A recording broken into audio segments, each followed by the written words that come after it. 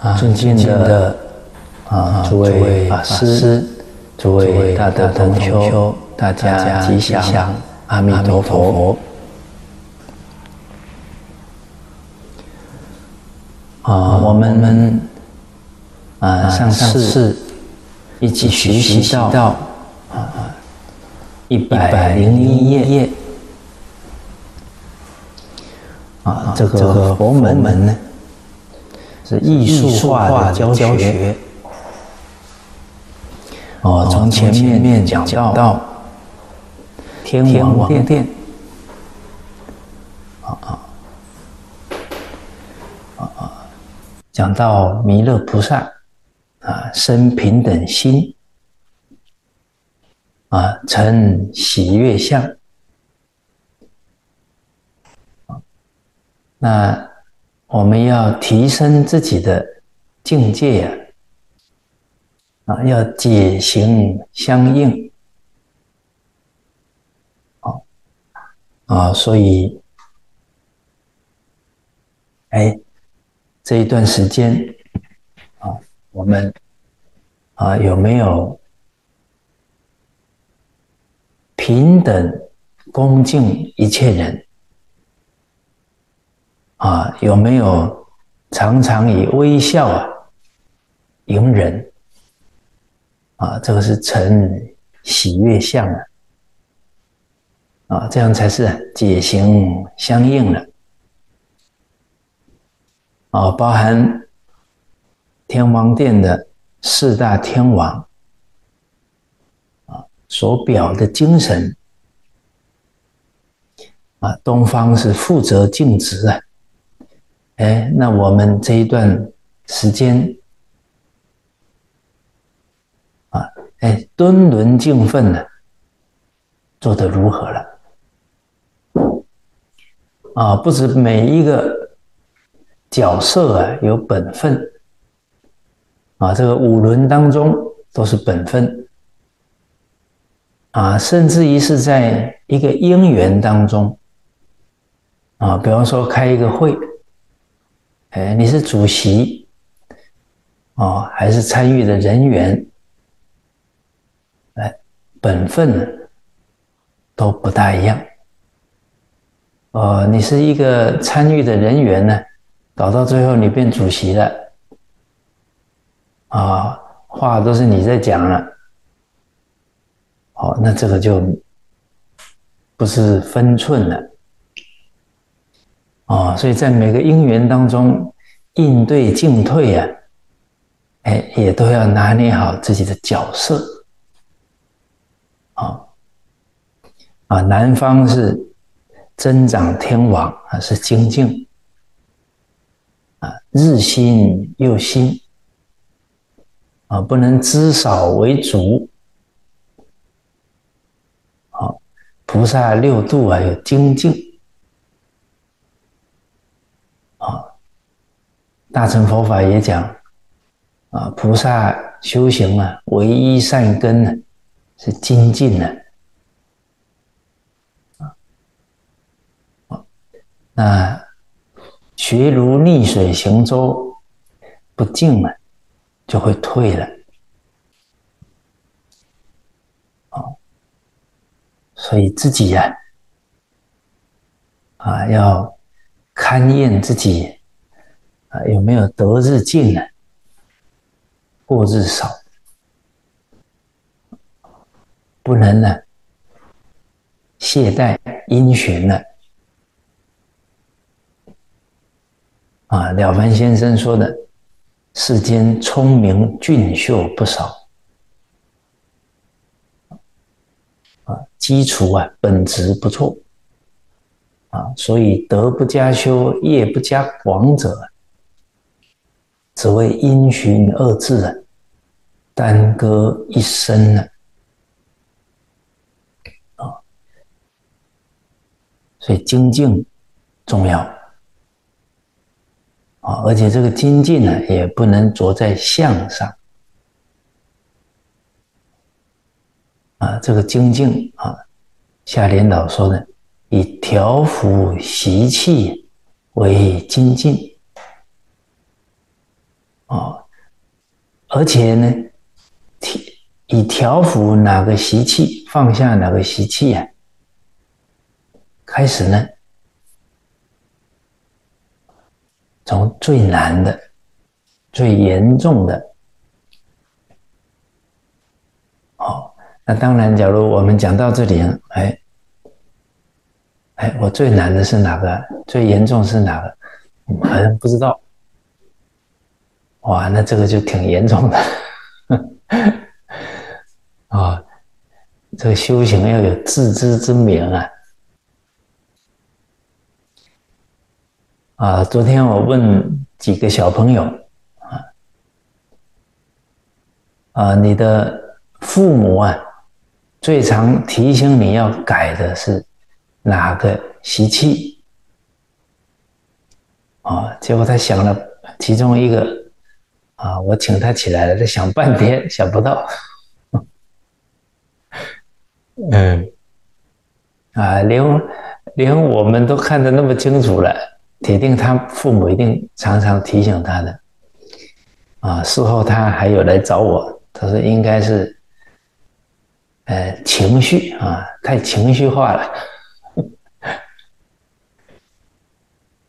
好，啊，所以修行要真干呢，从哪里干呢？从最严重的。啊啊，不只是小朋友啊，啊，我们也一样啊。父母从小到现在最常叮咛我们的是哪个问题？啊，要从这里改起了啊啊，因为啊，大乘佛法要啊安众生心呢，啊，拔苦与乐，安众生心啊。那我们连父母的心都不安啊，还让父母常常替我们操心啊？那时候要去安众生心啊，我想不大可能的啊。哎，我们对父母的叮咛重视，这是对父母的爱敬。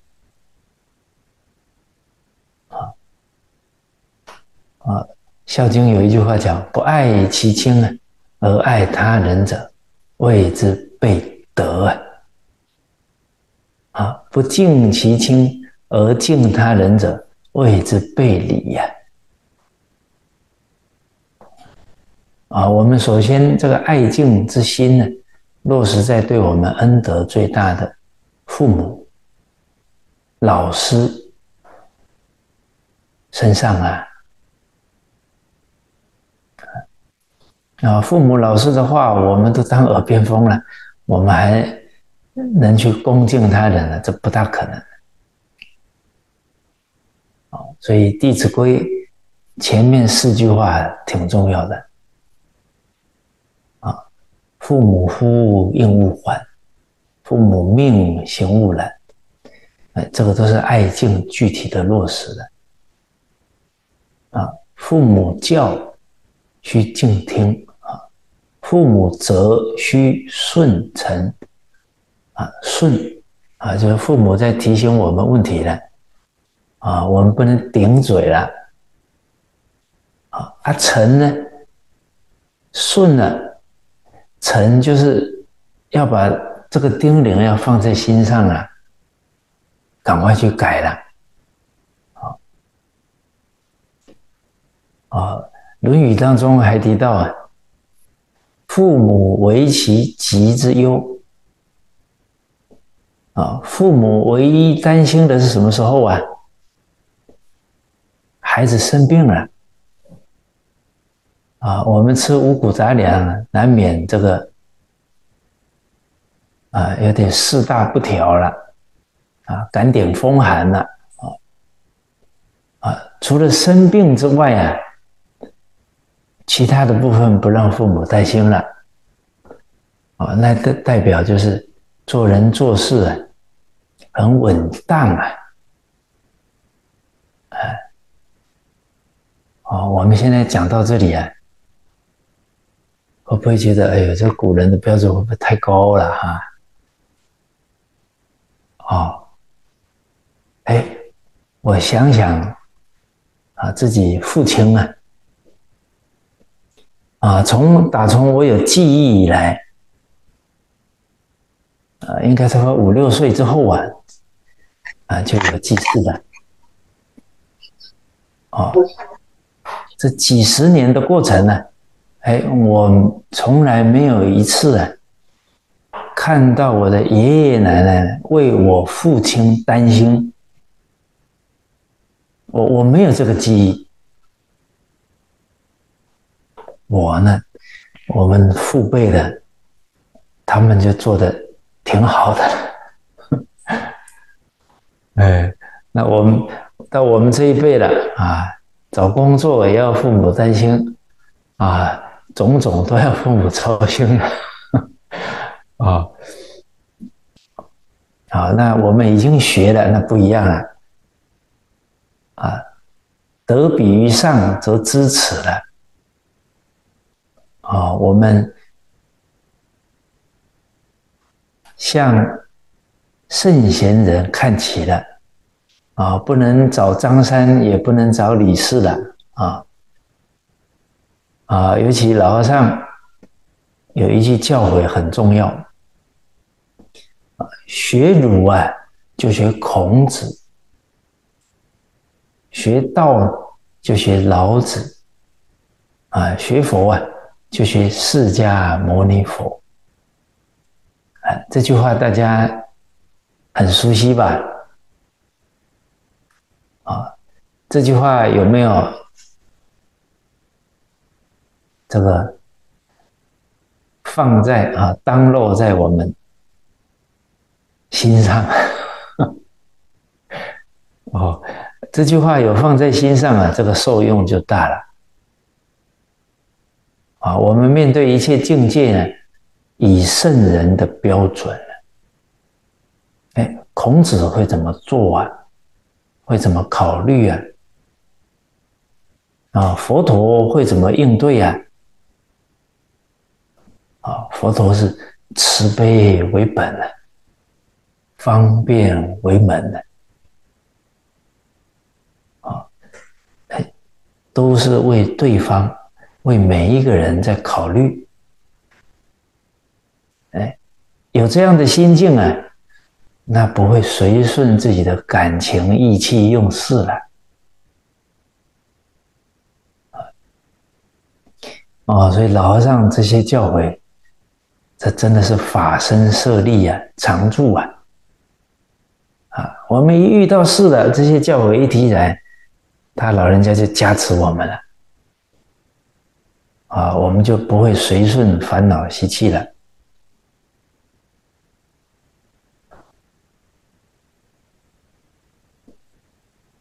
好，啊，那今天是好日子啊，啊，佛欢喜日啊，啊，今天是盂兰盆节。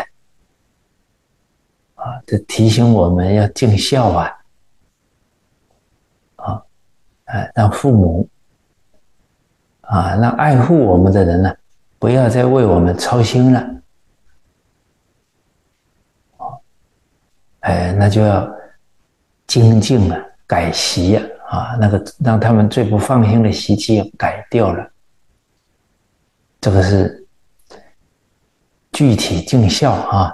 养父母之心呢？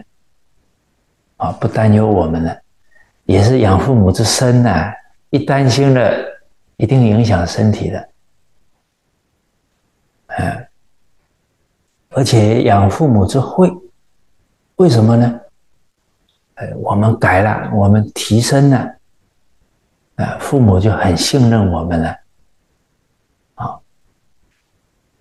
一信任呢？我们讲的话，他们就很容易接受，你就更好可以护持自己的父母了。啊，这个君子信而后见嘛，相信了你就好劝谏了、护念了。啊，像以承德个人呢。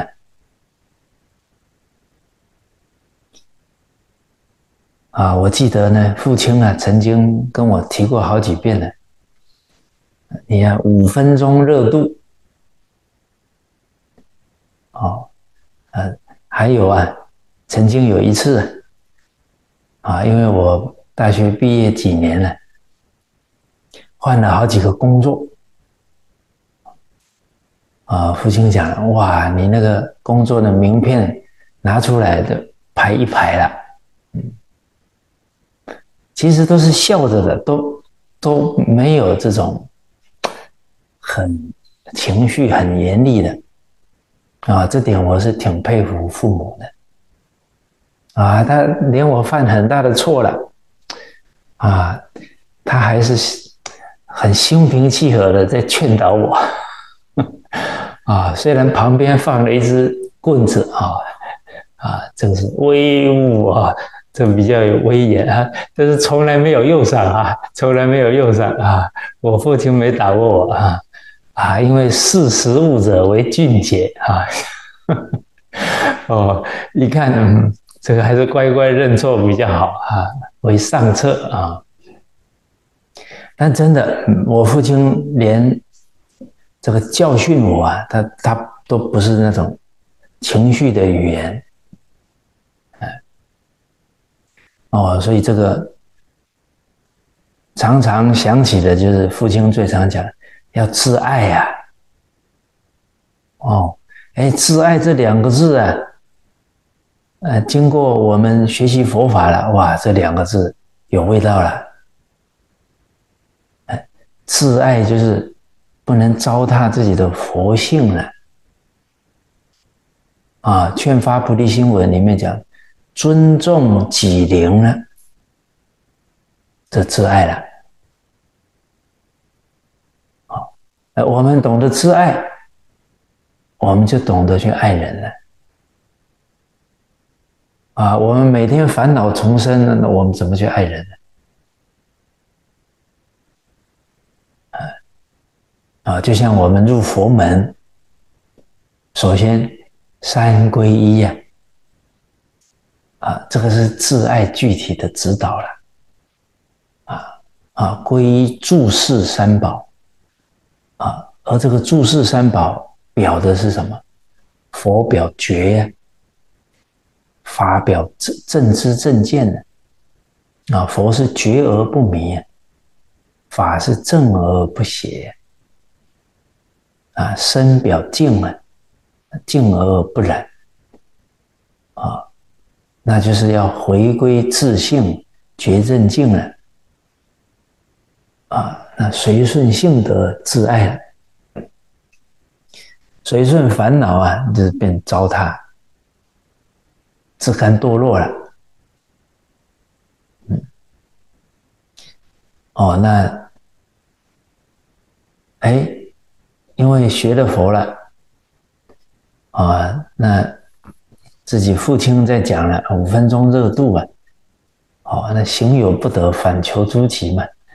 啊，我们在外面向上，让人家是这个感觉，啊啊，而且我们也没有主动啊，去跟父母沟通我们自己的想法，哦，所以诸苦皆从贪欲起啊。我们有要求贪求别人啊，要理解我啊，要信任我啊。烦恼就起来了啊！烦恼不可能是别人给我们的哦，所以我们学佛人不要讲外行话啊！哎呀，都是他让我生气的啊！他太不理解我了啊！这个都是给人家要道要情了啊！三十七年不能白做了。诸苦皆从贪欲起，这讲的太透彻了啊！人生解知足了，烦恼一时除了，知足的人就不不去要求了。哎呀，我家里人对我很好了啊，大家都对我很好了，哎。一个人知足了，他他就很容易有感恩心呢。哦啊，他有感恩心了，他就愿意去报恩了。哇，那跟人相处的良性循环。爱人者，人恒爱之；敬人者，人恒敬之。好，那我们不付出，只是要求，那就是恶性循环了。啊，呃，你要求别人呢，就调动别人也要求你了。啊，所以修行要转变，要跳出来，这个恶性循环。什么事情啊都没有离开因果。啊，哎，我们希望别人尊重我们，哎，我们要先尊重别人，这都是因果关系了。啊，我们希望别人信任我，我先信任别人。啊，希望别人理解我，啊，我要先理解别人。啊，佛陀四十九年经教，我们掌握纲领啊，就很好关照自己在不在道中了。啊，四十九年讲什么？礼上不离心性二字，就教我们啊。随顺真心，不随顺妄心烦恼。那四十九年不是讲这个重点吗？啊，那我们掌握这个纲领就很好关照了。圣狂之分在一念之间呢，就是真妄啊！我我要随顺真心啊，常住真心啊，不能随顺烦恼习气了。那这个纲领随时可以用啊！呃，我这个念头符不符合觉正境呢？符不符合真诚、清净、平等、正觉、慈悲？啊，妄失菩提心，修诸善法，是名魔业呀！啊，这菩提心重要了。菩提心就是真心了，真心不可虚离也，不然就搞魔业去了。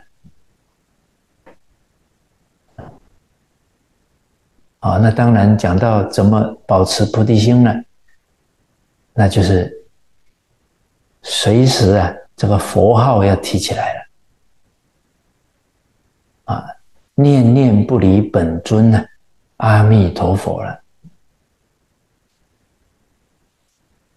哎，所以印光祖师这一句开解很精辟呀，一下子四十九年的纲我们抓到了啊，随时在关照自己的心上用功啊，关照遇到的每件事情，哎，它的因因果果是什么？世上不离因果了。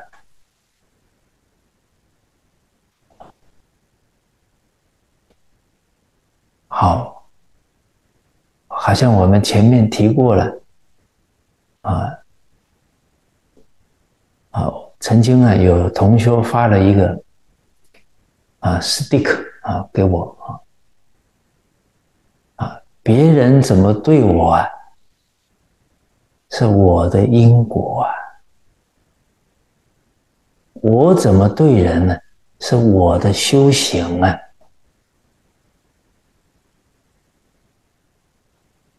哇，这两句能体会到了，受用就大了。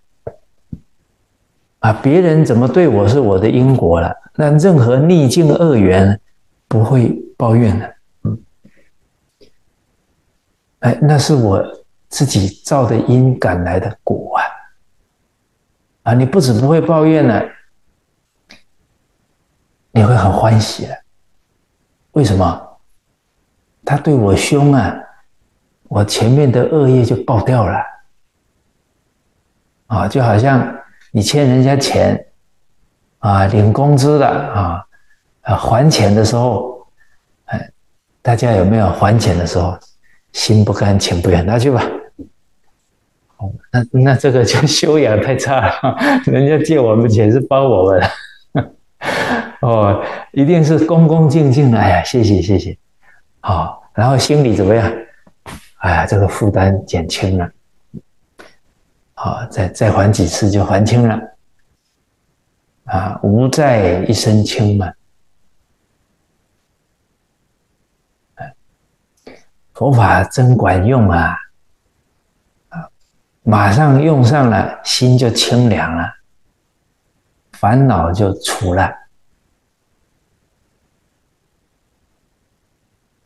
啊，尤其《金刚经》还告诉我们：善男子、善女人啊，受持读诵此经，若为人轻贱，啊，先世罪业即为消灭。啊，人家轻慢侮辱我们，我们前世造的三恶道的因可以消掉啊！哎，假如没有消掉啊，这个因会带我们去哪？业因呢？去三恶道哎！哦，那大家想一想，是被人家骂好啊，还是到地狱去受苦好啊？哇，地狱可不是闹着玩的啊！刀山剑树啊，啊，一日死生呢，地下每经万变呢，啊，一天都死几万次啊，死了又又又起来，又受那个苦。阿罗汉想到前世在地狱受苦，流血汗呐，光想就流血汗。你说那实际受是什么滋味啊？不能再搞轮回了，三恶道是老家了，不是开玩笑的。哦，人生难得，佛法难闻呢。啊，东土难生呢。净土法门会基本难遇啊。若闻《诗经》，幸要受持，难中之难，无过此难呢。啊，这么难的因缘都被我们遇到了。啊，我们老实依教奉行啊，老实念佛，啊，今生就要把轮回的事办了，不能再搞了。哎，啊。大家咬紧牙关呢，啊，此生挣无量寿啊，太值了啊！这人生几十年很快就过去了，换个无量光寿啊，太值得了。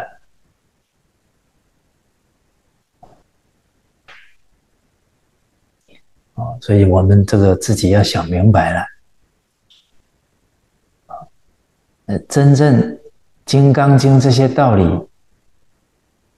啊，明白了，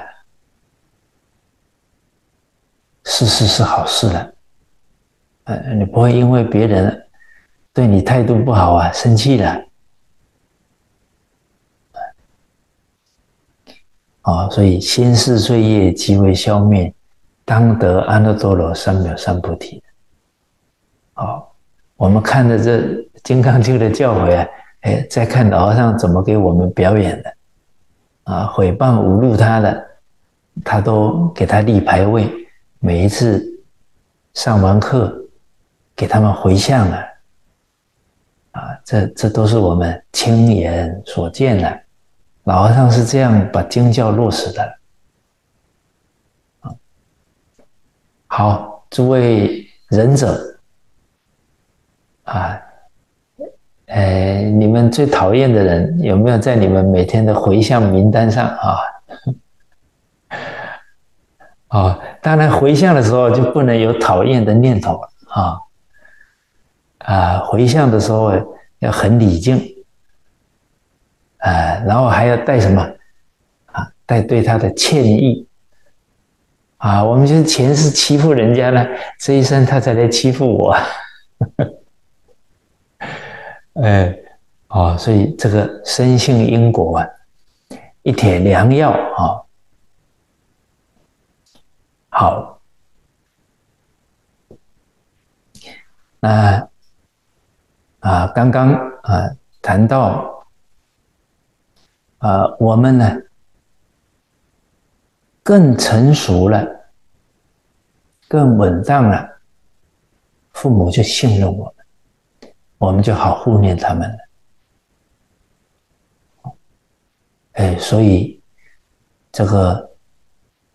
啊，承德学佛了，啊，我我承德不是最早的，家里是我母亲最早学的了，哎，但是啊，学了没多久，哎，我吃素了，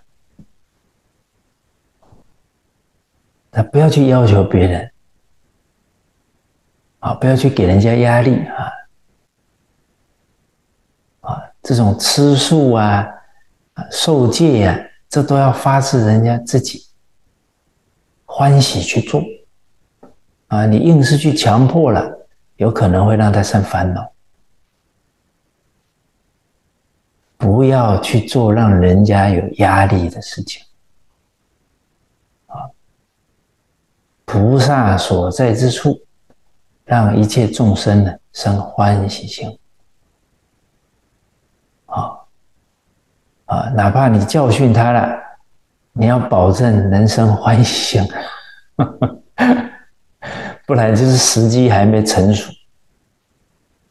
啊，攻人之恶勿太严，要施其堪受。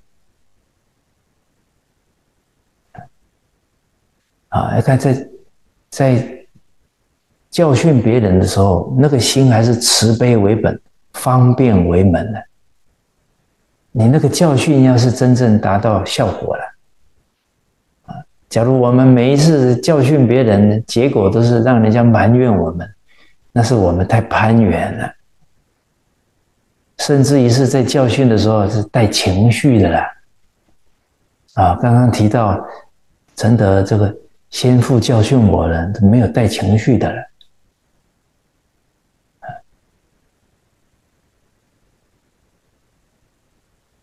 哦，那当时啊，这个父亲有提啊，我五分钟热度啊，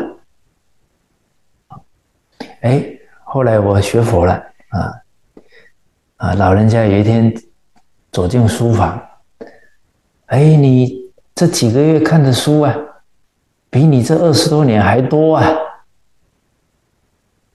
哦，哎，他在观察我呢。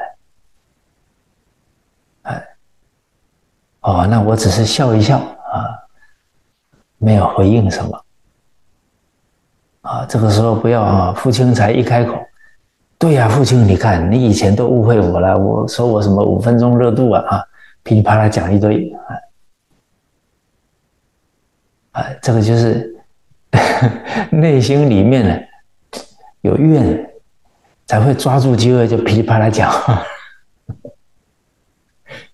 哎，日久见人心啊！我们自己还做的很不足啊！不要这么急于要啊，把底牌都打出来了哦啊，要沉稳一点啊，要安稳光啊啊！不要遇什么情境了啊，情绪就起起伏伏的哦。后来就慢慢。啊，一点一滴啊，他父母是最关心你的人呢，怎么会感觉不到你的改变呢？哎，哎，慢慢的，父亲什么事哎，找儿子商量了，啊，甚至后面一些重大的事呢，就你负责吧，啊，这就信任了，好，哦，所以。《论语》里面说啊，父母为其疾之忧啊，啊，我们只有不不小心四大不调生病了，父母才担忧。平常学业、事业、家业啊，我们现在学佛了，道业不能让父母担心，这是安父母心，爱敬父母了，才能安众生心了。好，那西方广目天王，北方多闻天王，啊，这是读万卷书啊，行万里路。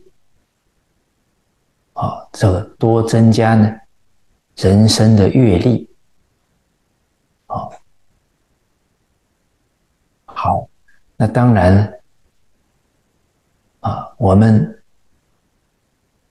啊在听每一个人讲话，我们都很恭敬啊，这都是增长自己的阅历啊。每个人的人生就像一本历史书啊。啊他做的好也好，他做的不好也好，都可以引以为戒呀。啊，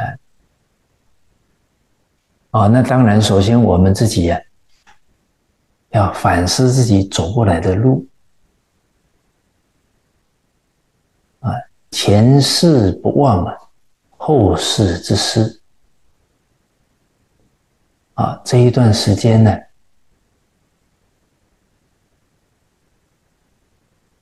大家应该有感觉到，啊，陈德好像一直在重复一个议题，啊，叫面对境界要清楚，啊，学佛佛是觉啊，在哪里觉悟？在每天遇到的境界呀，处理的事情啊，啊，假如今天经过一件事了。问题出在哪？我们都稀里糊涂的，那就有可能明天以后同样的问题会再发生了。哦，陈德举了几个例子。啊，有一个媳妇啊，跟她婆婆的互动，哎，婆婆婆为什么生气了？她不知道，那就有可能以后啊。还会同样的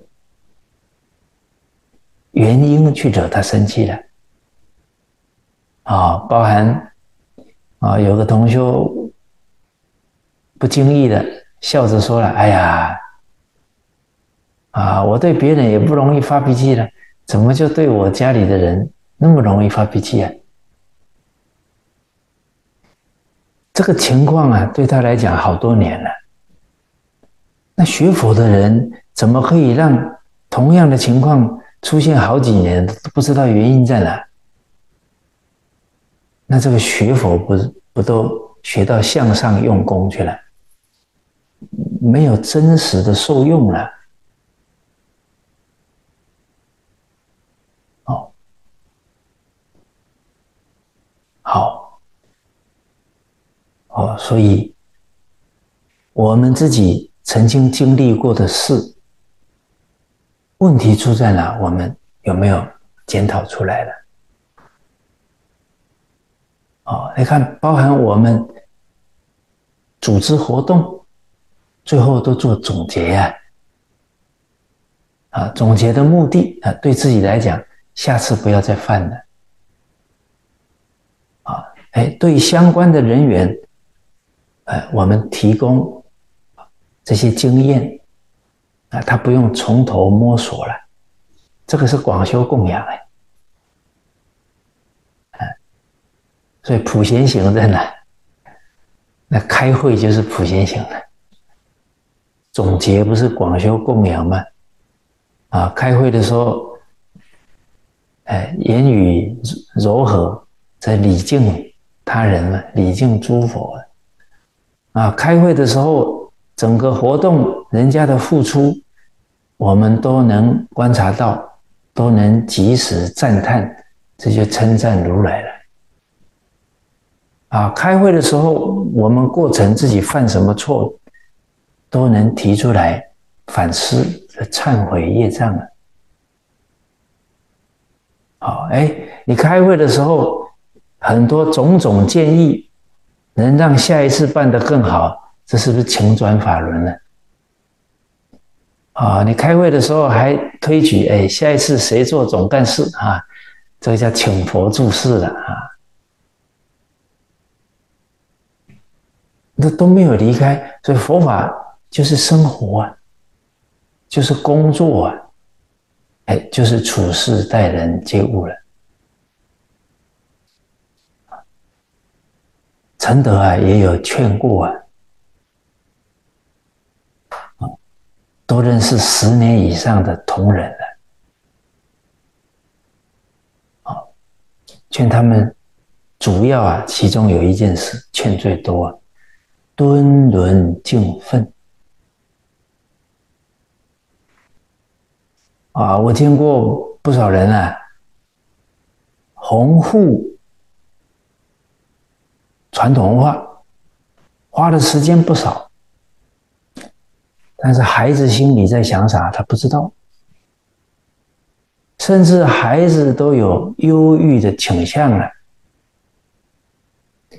代表啊，我们都忙到事里面去了，这个心呢，连最亲的骨肉都感受不到。我们做的事再多啊，不是在修行的状况。那事做了，只有什么福报？那不是功德了。功德是什么？真心才有功德。一个人越学越感觉不到最亲的人的心呢，这哪哪有真心呢？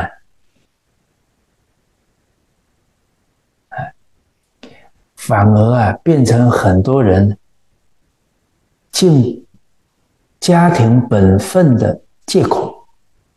啊，我都去做好事啊，逃避。好多修行人逃避夫妻的相处，这个叫分别执着、挑境界，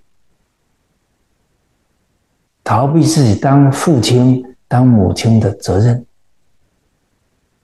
啊！我接触了他们的孩子，都知道他们很缺爱，但自己当父母的人都没有重视起来。虽然修了一点福报啊，可能后面的罪业重了。慢慢你的孩子会长大了，啊，他身心出现什么问题了？你说认识我们的人怎么看呢？哎呦，他还讲课呢，怎么孩子教成这样啊？那我们负不负因果啊？哎，所以行善呢，不论现行而论流弊呀，不论一时而论久远不论一生而论天下。我们很容易做自己喜欢做的事，那叫好恶心啊！要做自己应该做的事，那是道义的心啊！无情不能修道啊！没有情义了，没有情义啊，人生都保不住了，不要说去做佛了。做人五常，仁义，你看义排第二了，仁义礼智信五常呢？其实你爱护你的孩子啊，那叫守信呐。那孩子诞生的时候，我们当父母的人，铁定在心里面都曾经。发愿呐，祈许呀，是吧？好好照顾孩子了，给他幸福了，是吧？看他那么可爱，很自然就升起这样的心呢。啊，这是父子有情的天性啊！起过的心念呢，不能违背啊。这个是性诺了。跟子女是这样，五伦关系都是这样，夫妻之间也是这样。哎，好。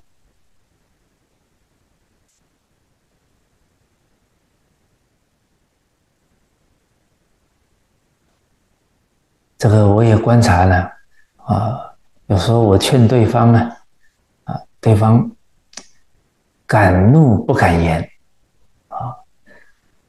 啊，然后硬做个样子给我看，事实上啊，他真做假做啊，我还算看得出来，哎，哦，然后做个样子。啊，就等我发话，好，你可以去讲课了啊。哎，其实啊，做样子是不能感动人的，至诚才能感通啊。啊，我们是不是真心去做啊？骗不了最亲的人。他们是最能感觉到的了，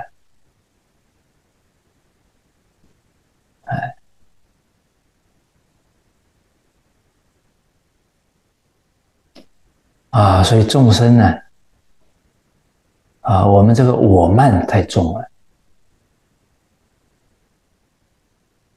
不容易听别人的话了，都比比较顺着自己的感受啊，认知啊。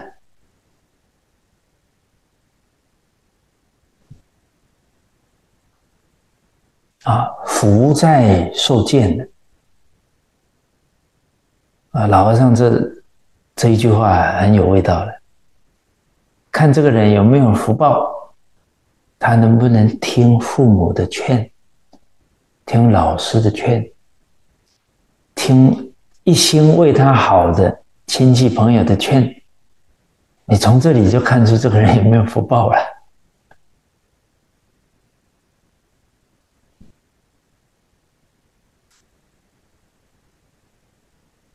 听了，人生呢少走很多弯路了。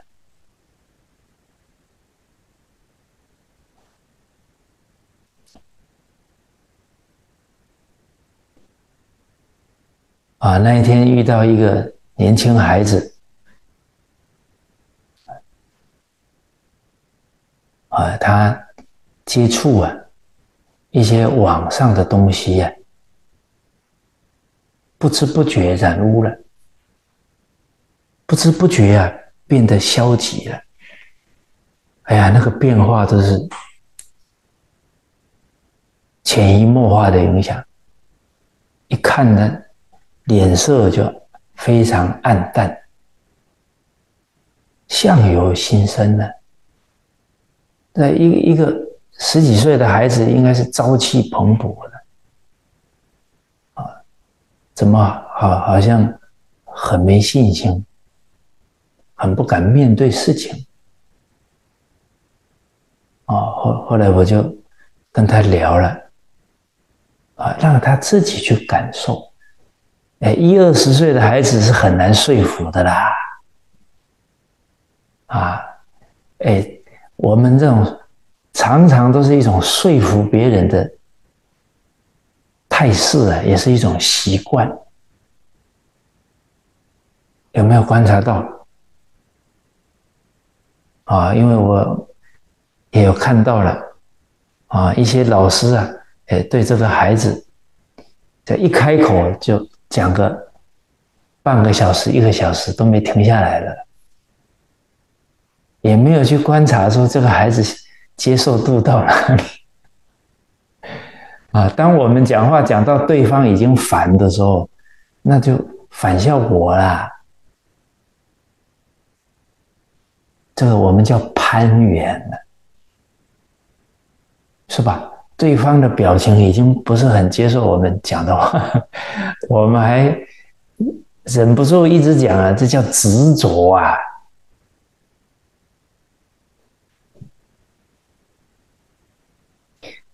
啊，后来啊，我就问他了，哎，你看这些东西多久了？他说两三年了。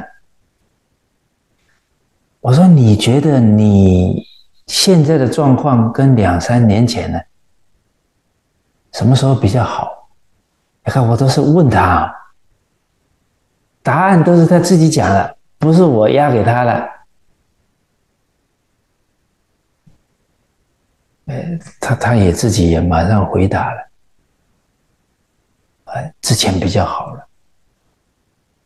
我说你那么大了，你要为你自己负责了。那父母啊、老师也不可能常常盯着你了啊，你要懂自爱了。当然了，孩子的问题呀。其实都要从小让他养成好习惯啊，形成判断力，不然现在外面的诱惑太厉害了。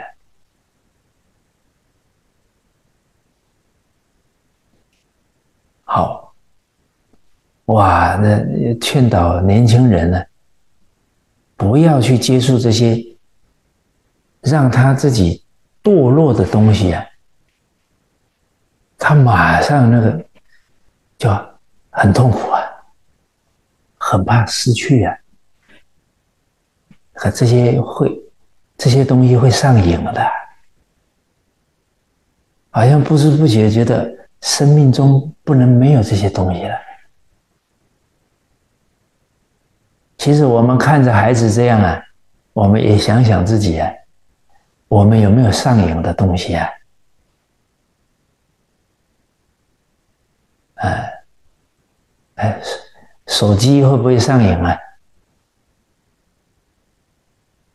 啊，一下没看了，心里怪怪的，这样心就定不下来了。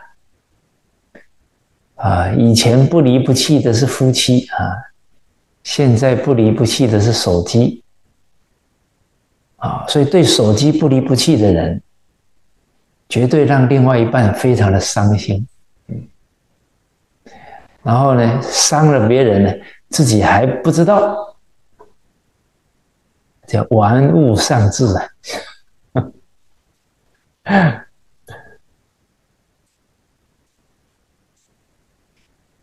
好，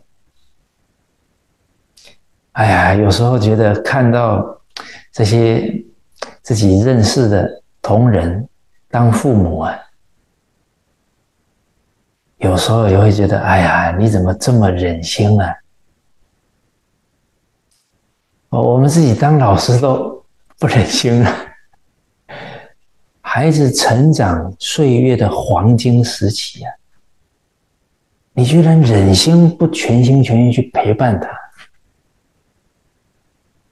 就知道我们好名好利有多严重啊！那个意义都提不起来啊！啊，我记得小时候啊，电视里面呢，公益广告有一句话叫“爸爸回家吃晚餐”。我当初说，我爸爸都回家吃晚餐了。啊，我为什么讲这句话呢？啊，我这个开窍的太晚了哈，好多事啊都没搞清楚。啊，那这个包含呢，我我姑姑啊都不带我去看电影，因为我都看不懂啊。嗯，领悟的慢。啊啊，所以最近。啊，刚好大专营啊，啊，给他们看《达摩祖师传》啊，有同学说了啊，我看第二次了，还是懵懵懂懂的，啊，这个都很正常啊，哎，不要揠苗助长啊，哎，要等待，啊，耐心陪伴，啊，那个悟性是要自然出来的，不是你。硬拉出来的。啊，水到渠成道法自然哦，教育里面真的要去体会啊，道法自然的。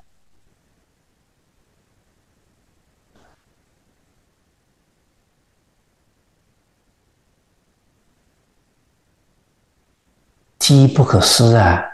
啊，孩子需要我们陪伴的那个时候，不能错过了，不然呢，会造成他终身的心理问题。他没安全感呢，他缺爱，怎么会有安全感？啊，哎，我们不缺爱呀，啊，很有安全感了。哎，这个对父母的安全感移到哪里了？对对，老和尚啊，啊，对佛菩萨了，也很，哎呀，佛菩萨安排自己不操心了，啊，他对父母都没安全感，你让他去相信佛菩萨安排自己不操心，这可能不是那么容易了。哎，陈德的父亲呢，在银行上班呢。商业界的银行呢，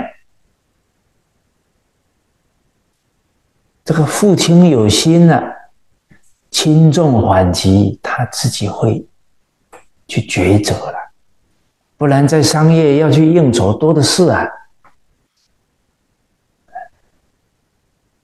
哦，所以这个当父母的抉择啊，真的影响孩子一生啊。啊，再冷静想想，说实在的，那些应酬对自己有什么好处呢？啊，当然重要的你要拿捏好了，可是很多时候一定要去吗？啊，事实上去了之后啊，对去的这些朋友有好处吗？其实很多应酬、吃喝玩乐啊，还打打麻将啊，你都错过了他陪伴他最亲的子女的黄金时段。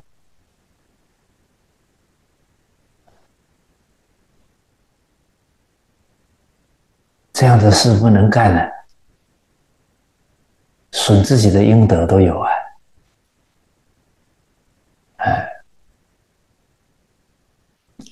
好，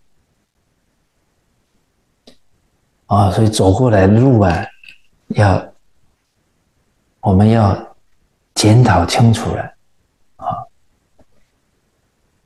前世不忘，后世之师了。那下一段啊，一百零一页第二段，寺院的建筑是学校与博物馆呢融合在一起的结构。啊，用今天的话说啊，就是艺术教学。啊，那这一点我们也要感受了。啊，假如学生所接触的完全都是讲课，那会产生什么？啊，他可能有一点听了会疲惫了。哦，更严重的呢？产生厌烦就不好了，啊，哎，所以我们这个教学呀，我们说随众生心，因所之量，啊，这一点要跟阿弥陀佛学习的啊，你看阿弥陀佛啊，他善巧方便的啊，极乐世界白鹤、孔雀、鹦鹉、舍利。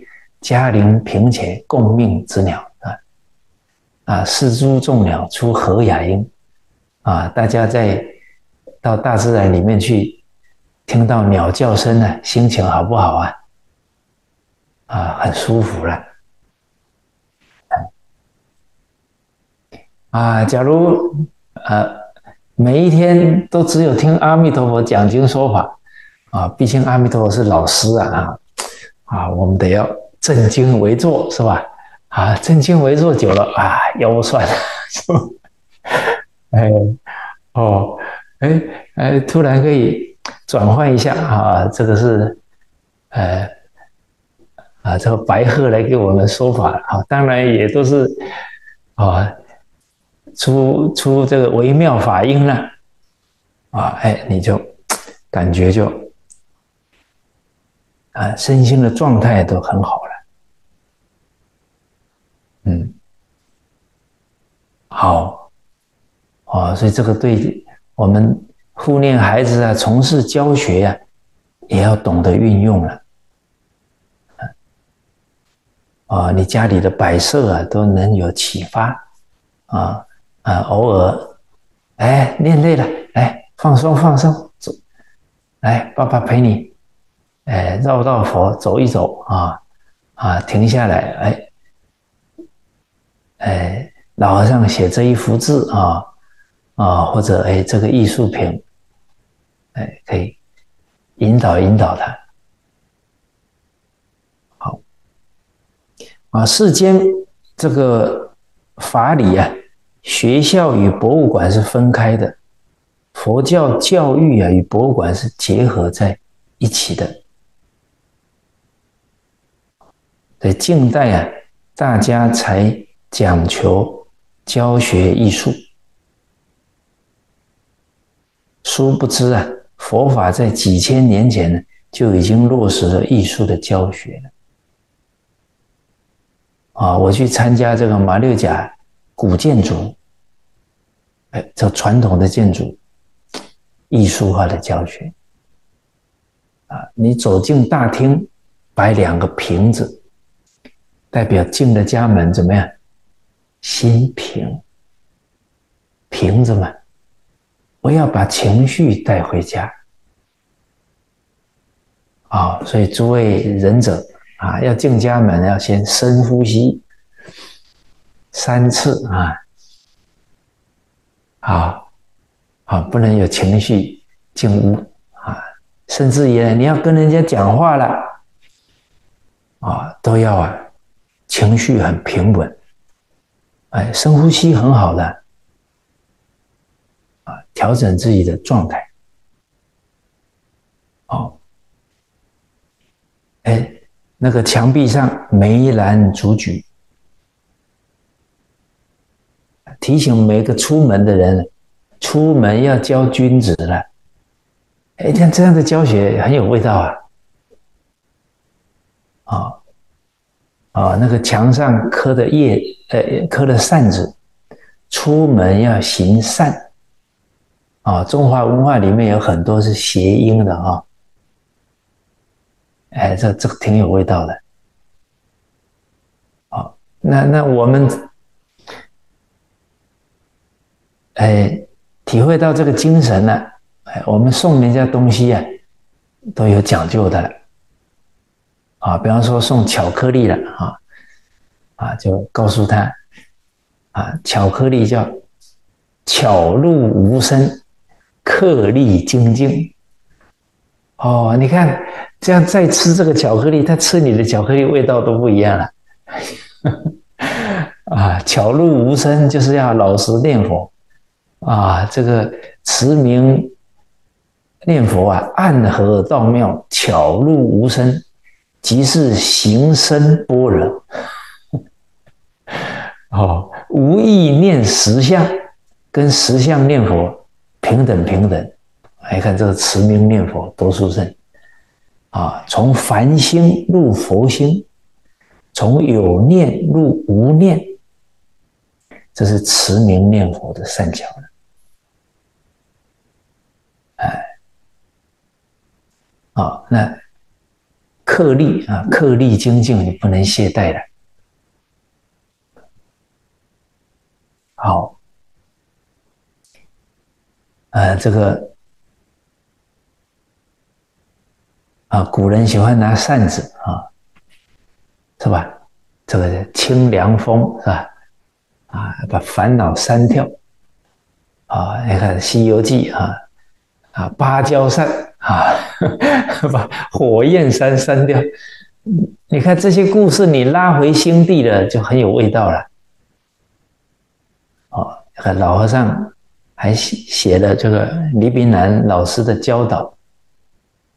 啊，这个人我是非一散挥去。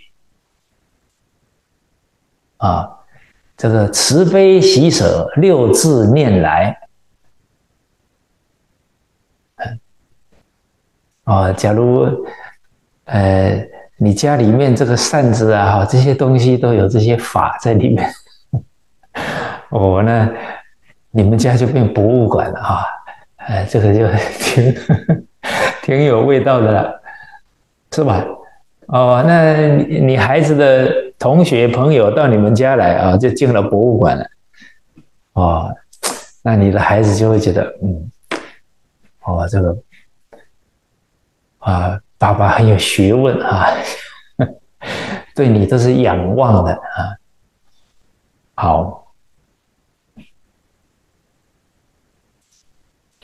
啊，那这个近代啊，大家才讲求啊，教学艺术，殊不知啊，佛法在几千年前呢就已经落实了艺术的教学。啊，佛教的一切设施啊。都是为了达到教学目标，即使是房舍的建造、图样、结构，都含着启发的教育。啊，这才晓得啊，佛陀教育真的是尽善尽美。啊，我们要把佛教育啊的智慧啊。啊，用在护念自己、护念家庭、护念团体上，哦，好，好，度尽众生愿呢？诸位想想啊，重不重要？啊，我们今天有没有做到？啊，老人家这些。都是设问。啊，让我们反思啊，反闻文字性啊，啊，佛法是内邪。啊，要往内啊，才能把心静下来。往外啊，就见人过了。佛法是内学呀，我相信这一句话，我们都熟悉了。但是这一句话有没有用上啊，才重要了。没有用上啊，我们就不得利益了。啊，哦，所以是老人家这都是问我们，让我们勘验自己的状态了。我们是不是起心动念，念念都为众生着想，念念为社会着想？啊，穿着也是带动社会风气呀。哎，古人都懂这一点的，啊，哎，不给社会不好的影响了。啊，念念为国家着想，而绝对啊不想自己。啊，一想自己啊就错了。啊，了凡四训说的“公则为真，私则为假”了。啊，当然这里的为自己啊，啊是比较自私的。啊。你假如是为了成就自己的法身慧命，哦，那那这个是懂得自爱的啊！你是随顺、自私啊、自我中心了，那这个就是造轮回业了啊！所以一想自己啊，就错了。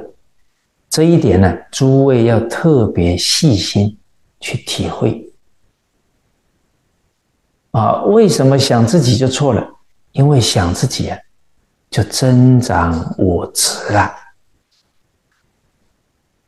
哦，所以会修行的人，在一切境界呢，放淡我执，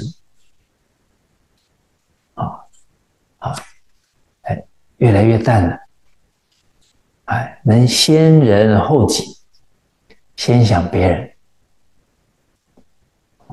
所以佛法是教人破我执啊，破我执才能出三界，破我足啊，我执了，念佛才能得一心不乱。啊，我执是轮回烦恼的根源。啊，我们读经啊，听经啊，一一听到这个根源，就要重视起来了，从根本修啊。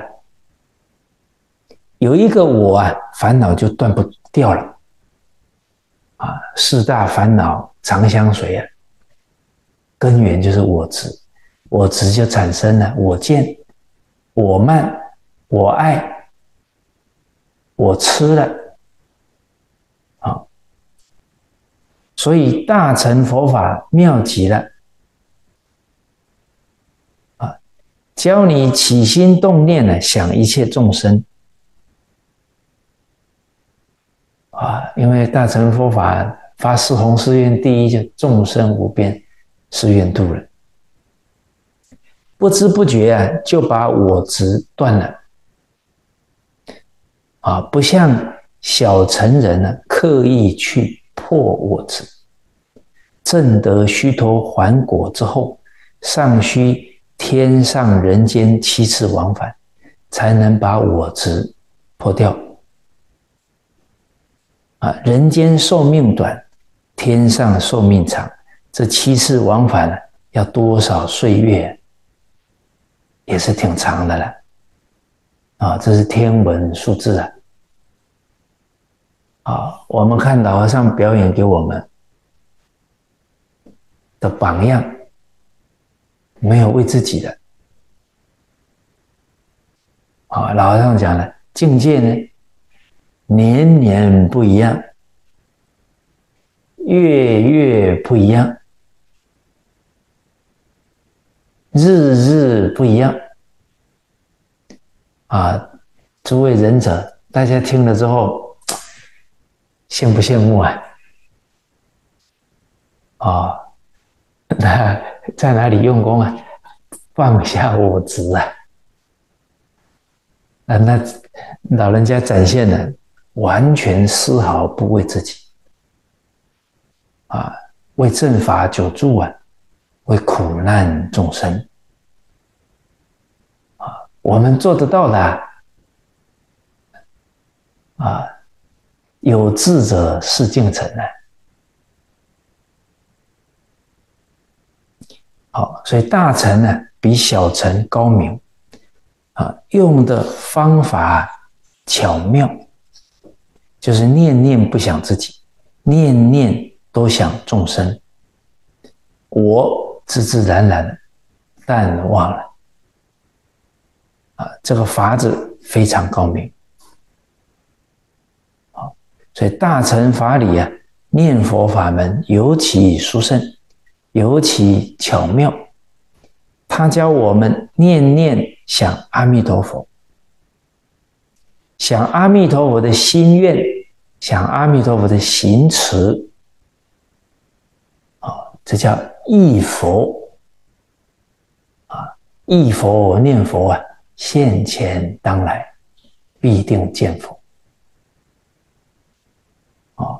我们一看到像阿弥陀佛的行持啊，高才永泽，与世超逸，性解明记，悉皆第一啊啊！少欲之主，专求白法，惠利群生。自愿无戒，忍力成就。啊，于诸有情，常怀慈仁。啊，我们对众生有没有慈悲？啊，有没有能啊包容？啊，和言爱语，劝喻车敬。啊，这个都是阿弥陀佛的行持。啊，恭敬三宝。奉事师长，无有虚伪残取之心，没有丝毫虚伪啊，应付啊，都是真心以待啊。那阿弥陀佛四十八愿普度法界一切众生啊，心量之广，无量无边啊，确实不是啊，其他大乘菩萨能相比的。啊，我们完全依阿弥陀佛做标准啊，先要发心。啊，不发心啊，不能入门。啊，所以先发众生无边誓愿度的心。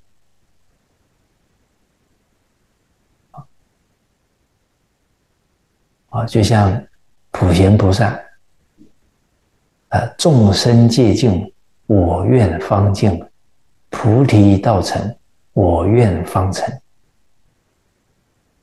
啊，那众生无有穷尽啊，所以他老人家的愿呢，啊，念念相续，无有间断；生与意业，无有疲厌呢。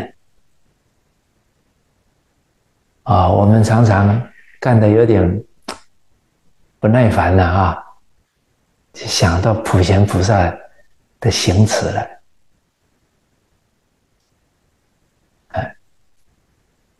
其实我们不耐烦了，就是落入了时间、空间的烦恼里面。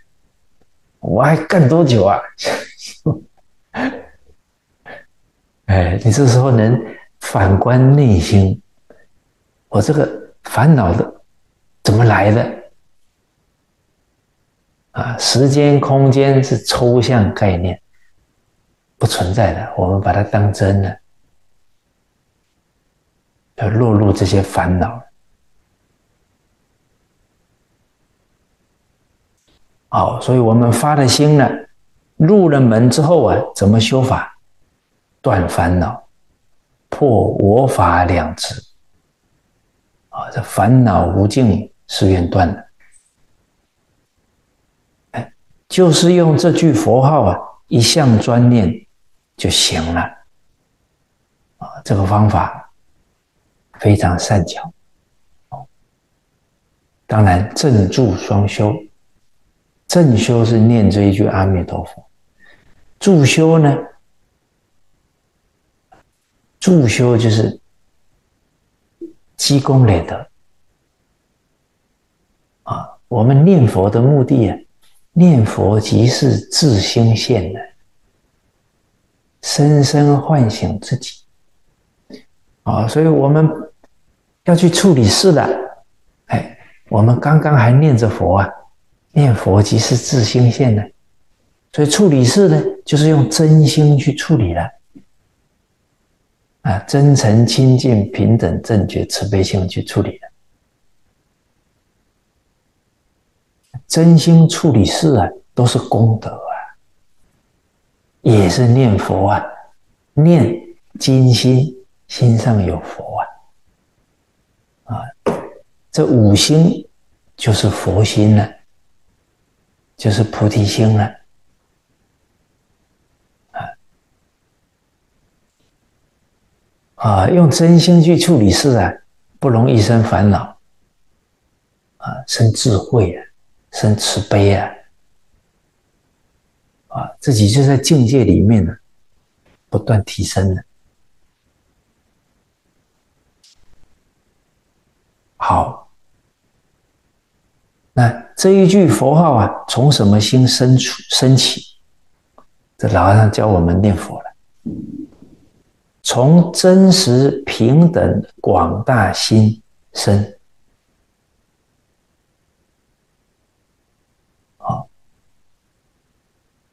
因此啊，句句佛号就与广大心相应啊。广大心即是众生无边誓愿度。你看，我们学了四十八院讲记了，学了到第十九院了，最重要要学到什么？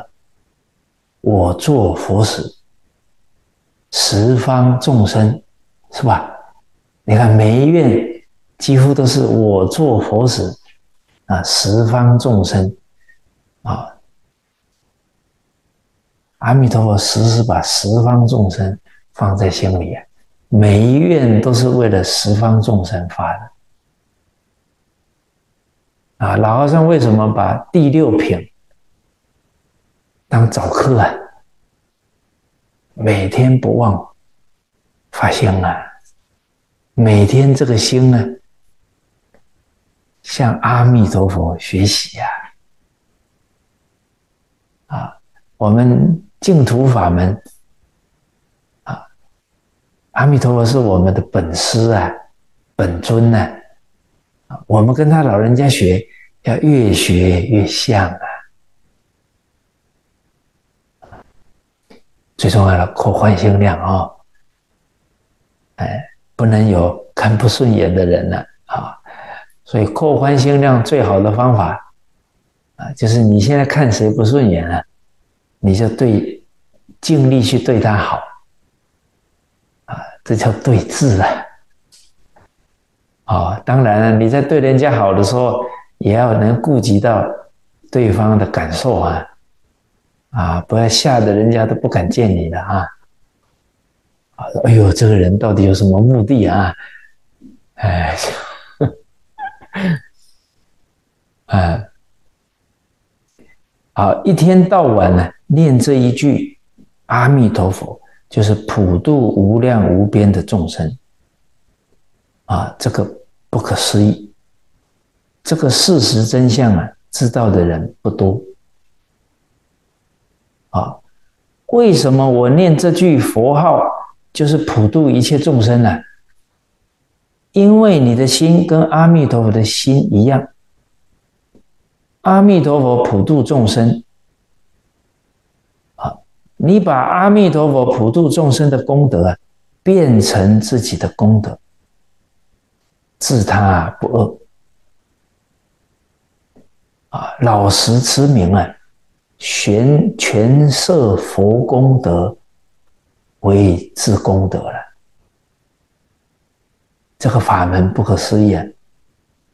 他立派果教门了，从果起修了，即修即果了。啊，我们常常说的，这是吃馒头的法门了啊！黄念老比喻的，直接吃馒头了啊，不用挑种了，啊，还要。施肥啦，灌溉了，啊，直接吃馒头了，啊，自己的心愿跟阿弥陀的心愿无二无别，佛的功德啊，就是自己的功德，这个事实啊，偶益大师在要解里为我们讲的很清楚，啊，念佛法门无比的殊胜，啊。佛门做晚课的时候啊，蒙山施食，只要用七粒米，用观想的方法就能变十方。我们念这句阿弥陀佛，也是用观想的方法，也度了法界一切众生。啊，我念这一句阿弥陀佛，为虚空法界一切众生念的。啊，心量啊是这样扩大的。啊，要把这个大心量用在日常生活、工作、处事、待人接物之处，不要在念佛的时候啊就观想跟佛相应；不念佛时啊，还是小心眼，还是搞是非人我。啊，那就大错特错了。啊，这样念佛啊，不能往生了。啊，说实在的，这样呢，真正观想啊，我看也观不成。啊啊，我们上次啊有共共一起学习到啊刘素云老师的教导啊，我心里不装人。装人爱真多啊！我心里不装事，装事是非多；我心里不装物，装物贪恋多。我心里只装阿弥陀佛。哎，好像这第四句我没讲到啊！啊，我心里只装阿弥陀佛。你看这一句啊，在跟老和尚现在这一段教诲融在一起啊！我心里只装阿弥陀佛啊！这念阿弥陀佛，为了虚空法界众生念的，你越念越欢喜的。好，所以佛教我们用一心。不可以用二心啊！对佛用一个心，对众生又是一个心啊，这错了啊！这不是一心了。所以啊，能不能往生呢？关键在这个地方好，我们用一心，用真心念佛，用真心呢处事待人。接物啊，我们每天就正住双修了啊，就行菩萨道了啊，行菩萨道啊，啊，就是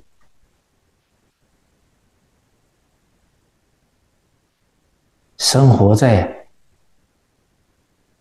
这个法喜当中了。